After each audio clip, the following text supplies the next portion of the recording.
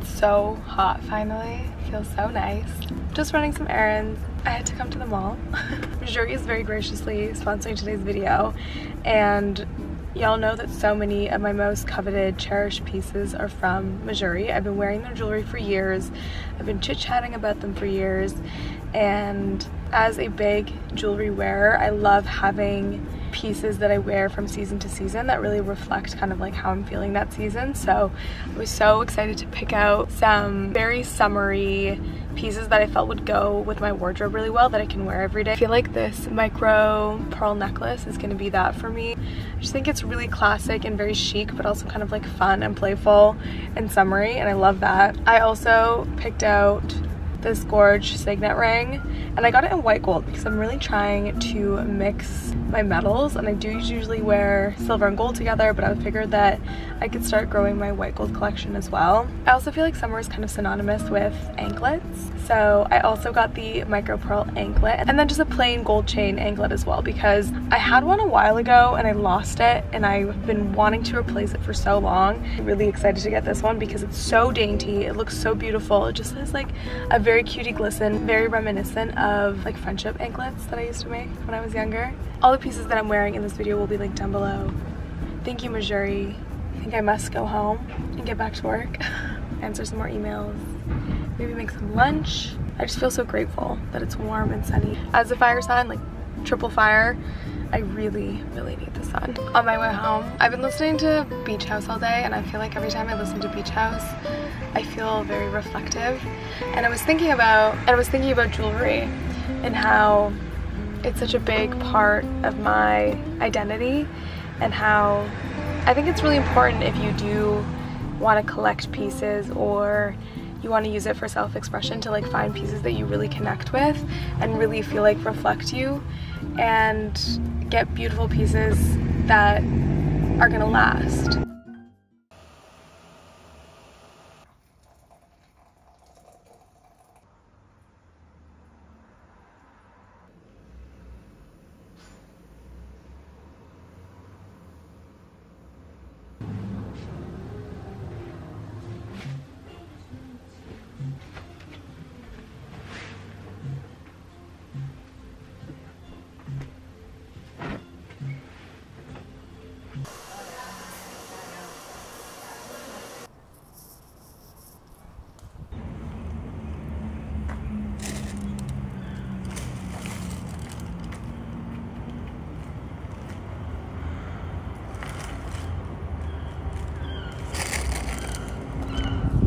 Hi, it's Wednesday afternoon. It's just past 4:30 and I've been working all day. I've had so many deadlines recently, which is great but it's not very exciting to show. But I just wanted to update y'all on some reading because I've been sharing a lot more about the books I've been reading.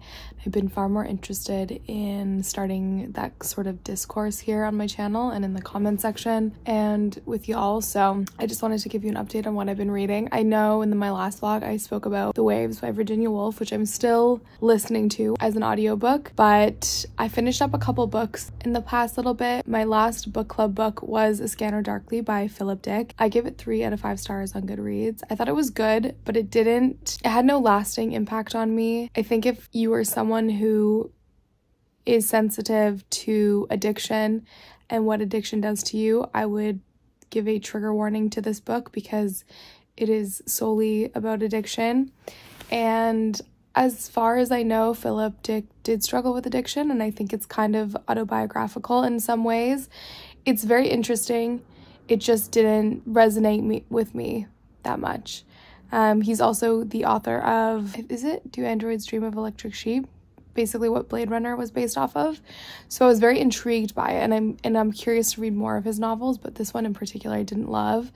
And then our next book club pick, which is picked by Becca, is Chain Gang All Stars. And my boyfriend and I are sharing a copy this time. So he's going to read it first and then I will read it after. So I haven't started that, but it's on my TBR for this month. And then what else did I read? I just finished Tuesdays with Morrie, which I think is kind of a classic. My mom lent it to me and suggested I read it. So I read it and it's very philosophical a very basic book about about being present, about loving, about having compassion and a very good tale of life is short and you should do the thing and you should tell the people you love that you love them. And I thought it was good. I gave it four out of five stars. It's a very quick little read. And then I think I'm gonna start The Secret History by Donna Tartt. It's been on my TBR for a while. I bought it last month from Russell's, which is a great bookstore here in Victoria. They sell a lot of used books, which is amazing and I'm just itching for that kind of novel. So I think I'm going to start that today. I set a goal for myself to read 20 books this year, and I've already read 12. So I'm feeling really good. I never anticipated reading as much as I have been. It has been such a gift to spend time reading and to be more in tune with literature and having it be a topic of conversation with my friends. I know I sound like a broken record because I've mentioned this before, but I just have felt I've just found so much joy in reading recently. I have a little bit more work to finish up this evening. I really have been hustling, y'all. Like, I've been hustling way harder than I think I ever have as a freelancer. It feels really good. I feel like I'm on the right track. I've been kind of thinking about doing some furthering education. I have so many ideas bouncing around my head. Maybe this is something I'll talk about another time, but I just have a lot on my mind. I feel like I'm having some sort of renaissance moment or something.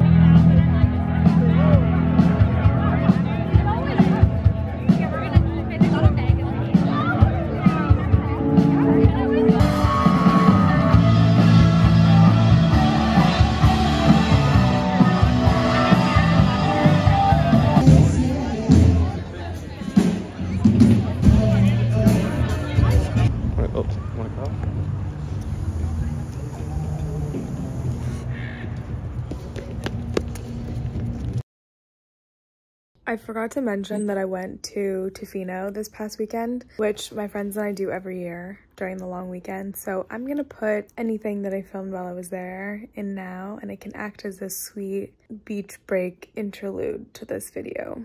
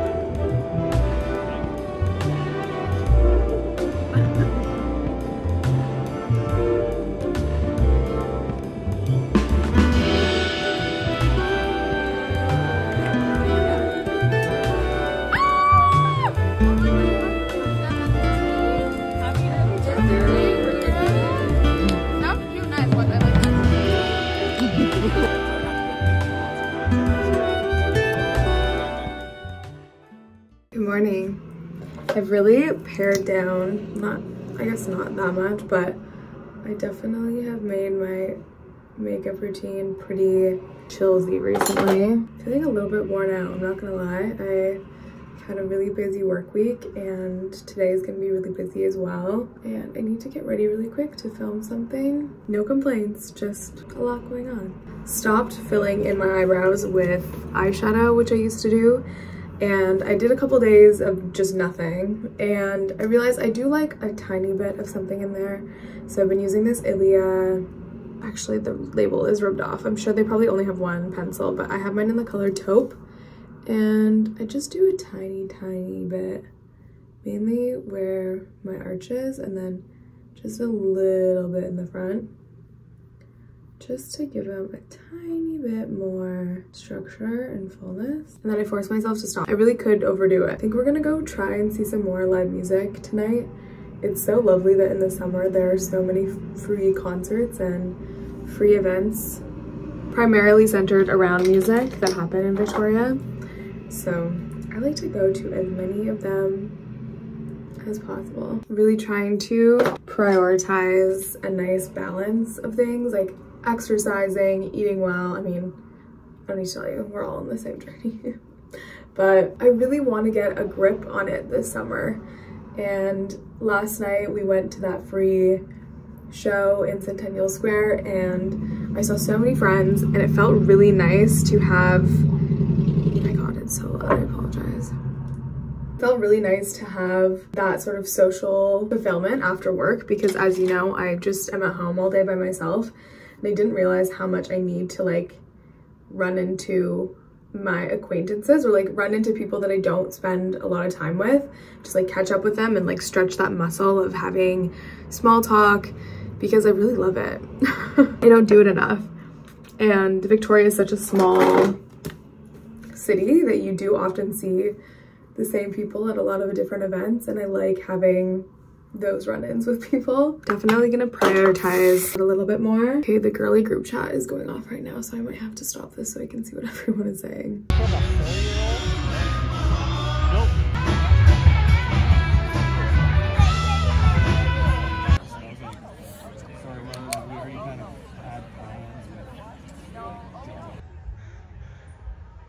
Hey y'all, I haven't really vlogged all day because I was just working.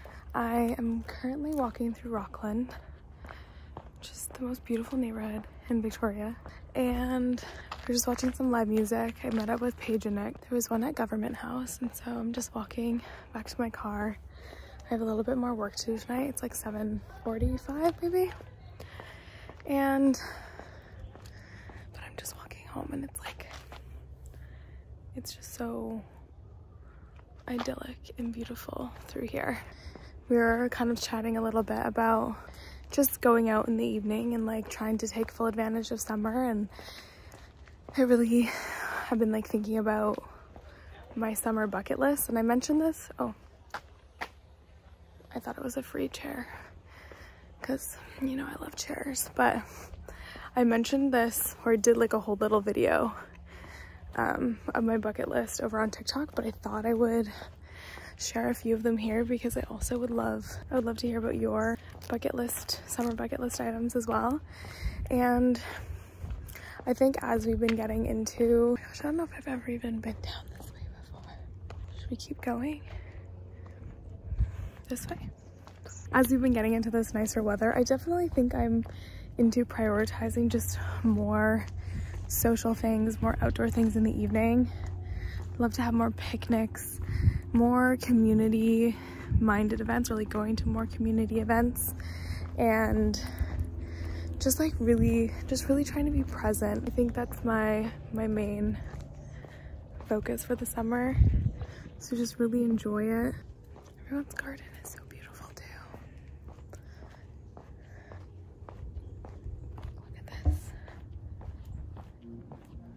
so nice. I also would love to go to the lake more.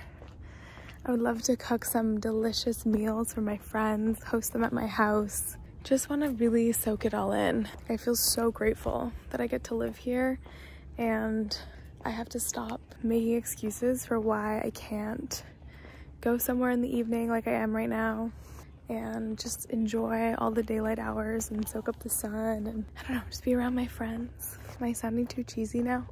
I also really want to prioritize exploring Victoria more. by foot. I walk around so much, but I usually always take the same route places and I'm having such, this is such a refreshing moment I'm having walking through or like walking down a street. Like I rarely ever come down Like you're on Fort Street and facing Craigdarroch. I usually go up the left side and never come out the right side. So it's just the little things, baby. Moments of reflection like this are really, are integral to me keeping my little noggin screwed on tight.